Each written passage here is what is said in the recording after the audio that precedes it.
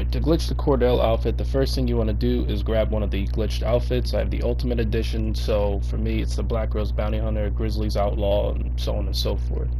Uh, you want to take off the coat, you want to take off the vest, and uh, put on the patched overalls, or any one of the overalls really, and save that as an outfit. Doesn't matter what you name the outfit. Then you want to select the Cordell outfit at, by itself, and all you're going to want to do is change the buckle, nothing else. I don't think you can change anything else anyway. Don't save that exit the wardrobe, walk around for a second, go back into the wardrobe, equip the outfit that is the uh, the custom bounty hunter outfit or whatever the hell it's called, and uh, you're gonna want to leave the session after that. Now what's going to happen is that since you leave the session, uh, it's going to remove the clothes for you, and it should you should have a glitched version of the Cordell outfit, which is fully customizable.